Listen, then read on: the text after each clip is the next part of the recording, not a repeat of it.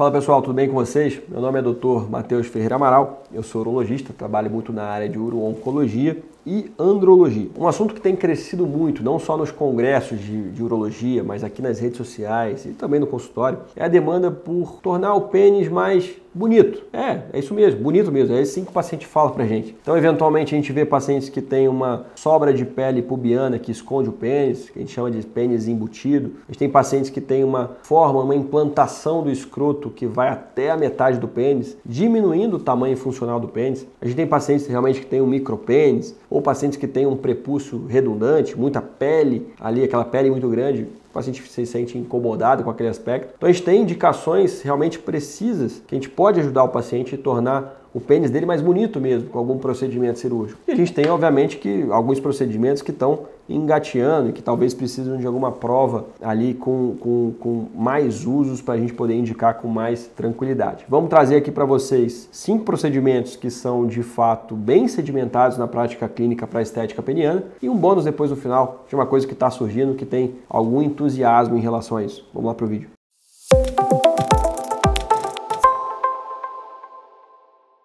Bom, pessoal, antes de falar, não podemos esquecer, peço para você curtir aqui esse vídeo, se inscrever aqui no canal para ajudar a gente, para o YouTube entender a relevância desse tipo de vídeo e clicar no sininho para que você receba as notificações quando a gente produzir um próximo vídeo. Peço essa ajuda para vocês. Bom, pessoal, o primeiro procedimento, o primeiro procedimento que eu queria falar com vocês, na verdade são dois procedimentos, mas que geralmente são feitos de uma, de uma vez só, que é a dermolipectomia de gordura pubiana e a lipoaspiração de gordura pré-pubiana. A gente sabe que alguns pacientes, pessoal, acumula gordura nessa região em torno do pênis. Então o paciente ganha peso e aí eventualmente essa gordura vai crescendo. Esse paciente vai até pode até perder peso depois, ele consegue emagrecer 10, 20, 25 quilos, mas essa gordura passa a ser aquele tipo de gordura localizada que é muito difícil do paciente perder depois que ele adquire. E essa gordura esconde o pênis. A gente tem alguns pacientes com pênis embutido mesmo. Se você nunca viu a foto, se você botar no Google, você pode botar pênis embutido, você vai ver a foto. O pênis se esconde no meio da gordura pré-pubiana. E esse paciente muitas vezes tem um aspecto de um pênis muito pequeno, ou até de não ter pênis nenhum. E ele precisa de ajuda. Então a gente pode propor a ele, quem faz esse procedimento em geral não é o urologista, é o cirurgião plástico. Aqui na nossa clínica, por exemplo, a gente tem uma parceria com a cirurgia plástica que faz esse tipo de procedimento. Então a gente faz uma retirada desse excesso de pele quando possível, quando tem aquela pele em avental que faz a dermolipectomia. O ideal é que seja aquela pele caída em avental, é mais fácil o procedimento, é mais bem indicado nessas situações. Ou simples gordura em excesso pode ser lipoaspirado. E a lipoaspiração e a dermolipectomia dessa região vai dar um aspecto, na verdade, vai dar um aspecto de aumento de pênis, na verdade, não é um aumento próprio do corpo cavernoso, mas dá uma impressão de um pênis maior e você desembute o pênis. Você passa o pênis que estava escondido ali, ele sai e o paciente tem um resultado estético realmente muito favorável para esse tipo de paciente. Outro procedimento muito procurado e de fato ajuda muito é a escrotoplastia. Pessoal, se você for parar para pensar, vai, vai no seu pênis lá dar uma olhada onde que é a implantação, onde que é o final do escroto. Você vai ver que tem uma, uma, uma, uma linha mediana no meio do saco escrotal. Ela geralmente termina no, na base do pênis. Na base do pênis termina o escroto. E aí, a partir dali, é a parte funcional do pênis que você de fato vai penetrar. Se esse escroto, imagina um saco escrotal que a implantação dele é no meio do pênis, lá no meio do corpo cavernoso. Essa parte toda que é recoberta por saco escrotal, você praticamente a penetração é muito difícil, muito dificultosa. Então você perde um tamanho funcional do pênis ali. Existe uma cirurgia que chama escrotoplastia, uma cirurgia que a gente pega essa, essa implantação escrotal que está lá no meio do pênis e traz para a base do pênis. Você aumenta a impressão do pênis. Mais uma vez, você não cresceu o pênis de fato, mas o pênis agora tem um aspecto mais bonito mesmo, porque ele aumentou de tamanho e o escroto está implantado na base do pênis agora aumentando a unidade funcional do pênis. É mais um procedimento que o paciente, quando bem indicado, ele ganha muito com isso. Outro procedimento interessante e que esse sim é bem sedimentado é quando você solta, é a secção do ligamento suspensório do pênis. A gente tem um ligamento, pessoal, que vem do pub para o corpo cavernoso. E ele mantém o pênis suspenso, dá aquele aspecto suspenso do pênis ereto. Então o pênis fica ereto ele, quando tem uma ereção de qualidade. Se você há muito tempo que não vê seu pênis ereto e suspenso, por favor, aqui no vídeo a gente tem vários vídeos aqui que aqui no canal a gente tem vários vídeos, formas de você melhorar a sua ereção, a capacidade erétil, para você voltar a ver seu pênis ereto e suspendido para cima. Lembra aí, quando você tem uma ereção de qualidade, você fica com o pênis suspenso. Isso é porque você tem um ligamento suspensório do pênis, do, do, do, do para o pênis, e mantém o pênis suspenso. Se você corta esse ligamento, tem uma parte do corpo cavernoso, pessoal, que está atrás do pubis. E aí, quando você corta esse ligamento, você ganha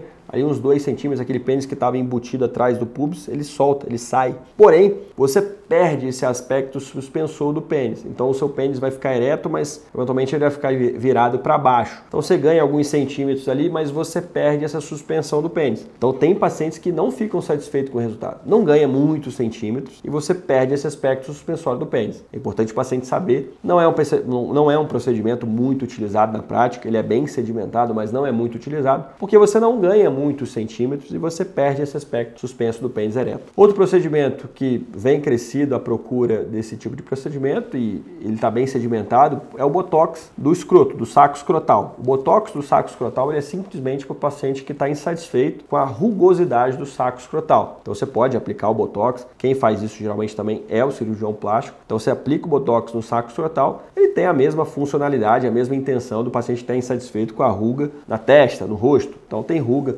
no saco escrotal, no, no escroto, ele pode aplicar o botox ali e melhorar as rugas. Esse procedimento, pessoal, não suspende o escroto. Tem paciente que procura porque ele quer suspender o escroto. Não, ele não faz isso. Ele só faz, ele vai agir sobre aquela rugosidade, aquelas rugas que são muito comuns no saco escrotal, porque o saco escrotal sofre muita influência da gravidade ao longo da vida. E por último, procedimento bem sedimentado e muito utilizado na prática é a própria postectomia ou a cirurgia da fimose, a retirada do prepúcio. Tem paciente que se incomoda, de fato tem paciente que tem um prepúcio, que é aquela, aquela pele que recobre a cabeça do pênis, muito grande, muito redundante. Pode incomodar realmente na relação ou na masturbação, ou então realmente causar um aspecto feio do pênis enquanto ele está flácido. Então se o paciente tem essa demanda, se ele quiser tirar a pele do pênis com fins estéticos, a gente pode fazer, desde que o paciente obviamente esteja bem orientado. A gente está falando de uma cirurgia, ah, um pequeno procedimento, mas com potenciais complicações. É muito raro você ter complicação na postectomia, mas você pode ter um hematoma pós-postectomia, você pode ter uma infecção pós-postectomia. Então você tem que ter cuidado para indicar um procedimento um paciente que está só querendo do ponto de vista estético. A indicação clássica para você tirar essa pele, as indicações clássicas, é o paciente que tem candidíase, infecção fúngica de repetição, em função daquela umidade que fica naquele ambiente da, da glande coberta pelo prepúcio, ou o paciente que tem uma fibrose realmente, um anel de fibrose e não consegue expor a glande, ou então expõe com dificuldade, atrapalha, machuca na relação. Esses pacientes têm indicação de fazer e ponto. O paciente que busca simplesmente para melhorar o aspecto estético da, da região, pode fazer? Claro que pode fazer, mas ele tem que ser bem informado. Ao longo da vida, tem várias vantagens em você fazer a postectomia, em você fazer a cirurgia da circuncisão. Tem vídeo aqui no canal só sobre isso, sobre preparo pré-operatório, sobre pós-operatório de postectomia. Mas fato é que ao longo da sua vida você diminui a chance de você ter uma DST, e você ter, você melhora a sua higiene local, você diminui a chance de você ter um câncer de pênis, paciente postectomizado. Portanto, é de fato um procedimento seguro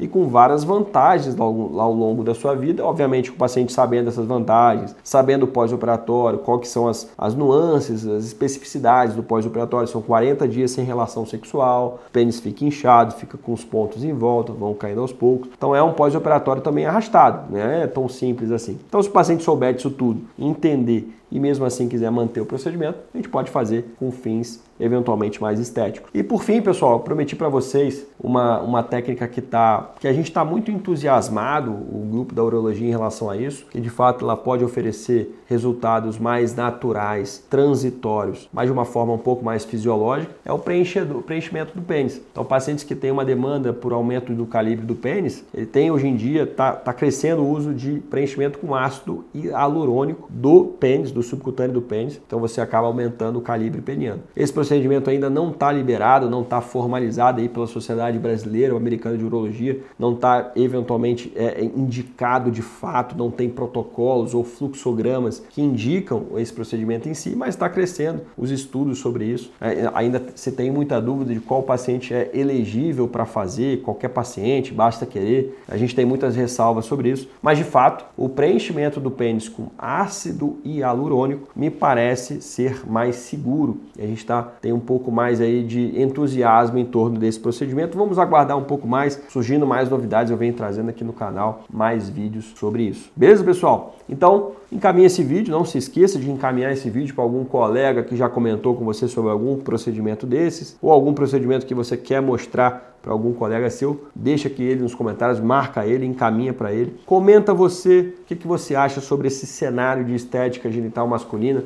qual a sua opinião sobre isso, se você tem essa demanda ou não. E não se esqueça de curtir o vídeo, se inscrever no canal e ativar o sininho para você receber as novidades aqui do canal. Tá bom, pessoal? Até o próximo vídeo.